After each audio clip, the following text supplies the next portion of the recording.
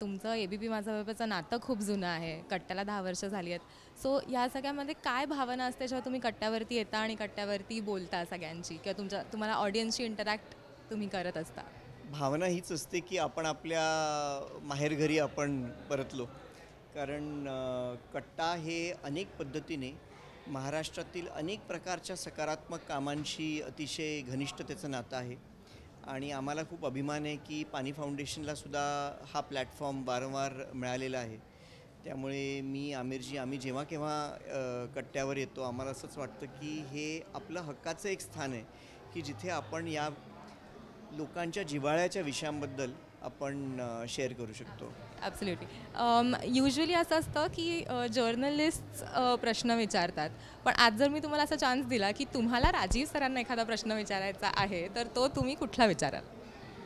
मला तर अनेक प्रश्न सुचत होते. कारण मी तसं जर पाहिलं तर सत्यमेव जयतेच्या काळात किंवा एरवीसुद्धा मी पत्रकार आहे असं माझ्या मनात मला सतत वाटत असतं. तर त्यासाठी मला वाटतं राजीवजी समोर बसले असताना तेव्हा अधिक चांगल्या पद्धतीने ते विचारता येतील.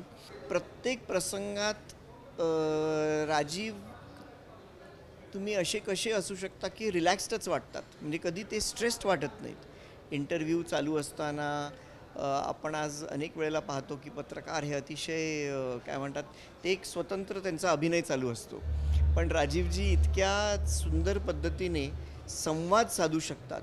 तर याचं यशाचं काय सिक्रेट काय आहे? थँक्यू एबीपी माझा.